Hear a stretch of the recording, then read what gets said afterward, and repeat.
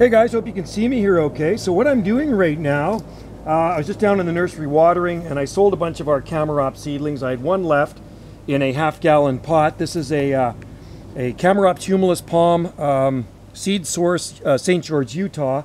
And what I'm going to do, I'm actually going to plant it with this clump of uh, needle palms here. So I've got the hole dug. We got some really good soil in here. We got a bunch of Sabal minor growing in with them as well. So first of all, we're going to pop this baby out of the pot and we're going to put it in the hole. We already dug the hole. Push that, push that down good, and uh, there we go.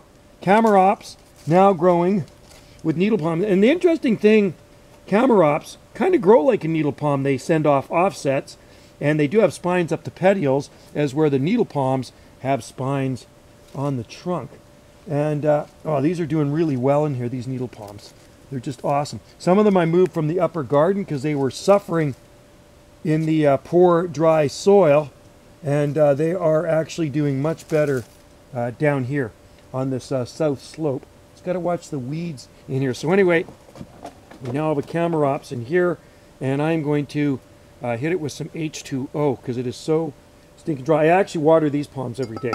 Every day I water these. So let's just put that little tag in there so we know that one is from St. George, Utah. And I know I did plant uh, some uh, Chamaerops humilis Vulcano too. We have somewhere growing in the garden.